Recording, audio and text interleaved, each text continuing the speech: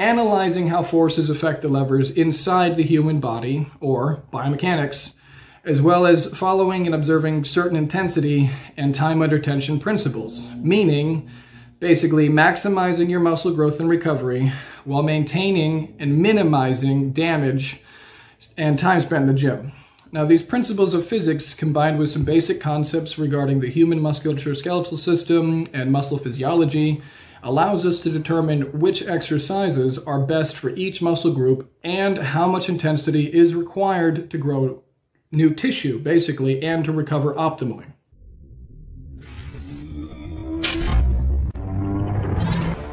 Hello and welcome. I am Coach Castle, a certified biomechanics expert, nutritionist, and efficiency coach. Subscribe to this channel to learn the most efficient ways to maximize your muscle growth and recovery, enhance your body, and advance your mind, all using the latest science. Welcome to Castle's Corner. Hello and welcome to Castle's Corner.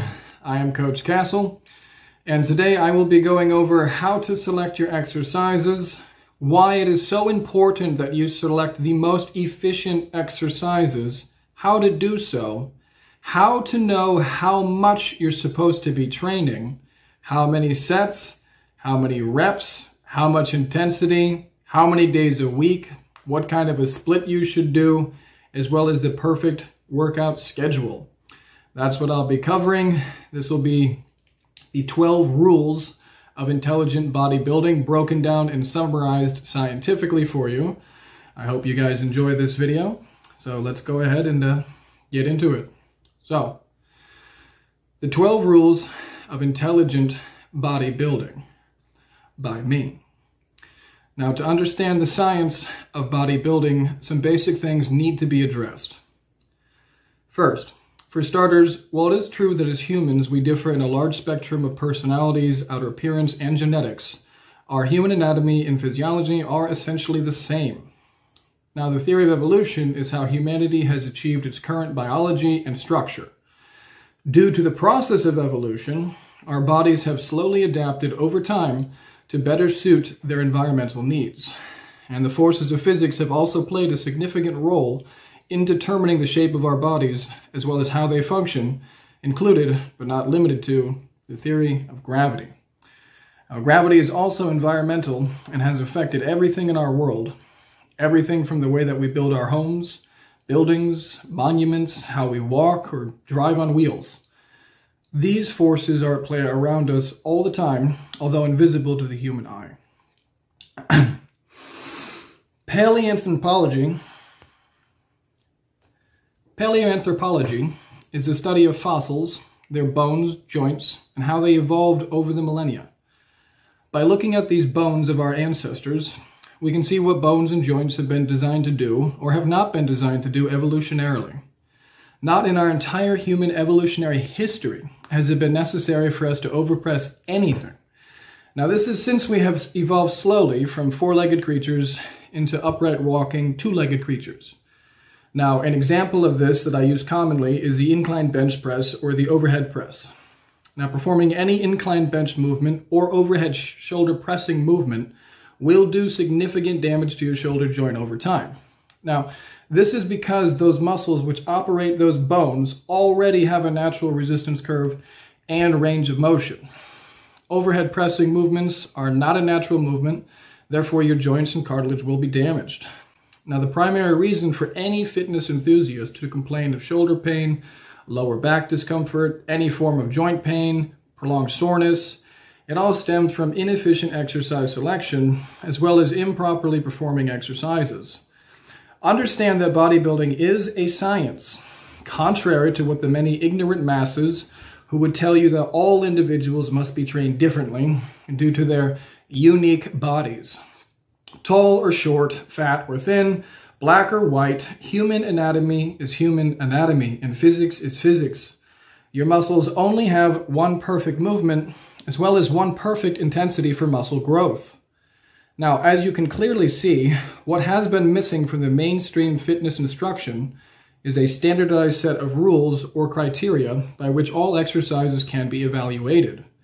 there needs to be a checklist of mechanical factors that can be applied across the board to all resistance exercises, which allows people to determine whether an exercise is optimally productive or highly efficient and safe, or high risk with little payoff. The fitness industry has failed to acknowledge that there are biomechanical factors that determine how efficient an exercise is, as well as how bad it is, whether there is sufficient stimulus for muscle growth, or is there little no intensity, meaning little to no growth. Now, this absence of a scientifically principled approach has resulted in bad exercises or high risk, little reward exercises being unjustly glorified due to their ability to be commercialized, as well as the egocentric nature of human beings ex- exploited. As a consequence of this, at the same time, highly efficient exercises or really good exercises have been overlooked, as well as simple basic intensity principles swept underneath the rug in favor of more commercially viable ones. Now, to define a bad exercise is a movement that unnecessarily loads and or strains non-target muscles more than they load the targeted muscle. They have minimum efficiency with loading the targeted muscle, and they are the ones that waste time and energy because they either fail to deliver the target muscle's operating lever or limb into the ideal direction, or they use the direction of resistance that fails to provide correct alignment with the targeted muscle's ideal resistance curve, meaning a loss of efficiency. Now, if you have spent any time in the gym performing conventional weight training exercises like uh, barbell squats, leg presses, overhead presses, incline bench presses, upright rows, deadlifts, T-bar rows, hanging leg raises, kettlebell swings, you name it, etc., then I can say with 100% certainty that you have not been exercising efficiently, you have certainly damaged your body, you have spent way more time and energy than is necessary in the gym. You have not stimulated your target muscles as efficiently as you could have. And you have exposed your joints and spine to a significant and unnecessary risk of being injured. So, taking a principled approach to training or taking a scientific approach, which by the way, you use science in your life for absolutely everything. Why wouldn't you use it for exercise? But, sorry, taking a scientific approach would mean simply analyzing how forces affect the levers inside the human body, or biomechanics, as well as following and observing certain intensity and time under tension principles, meaning basically maximizing your muscle growth and recovery while maintaining and minimizing damage and time spent in the gym.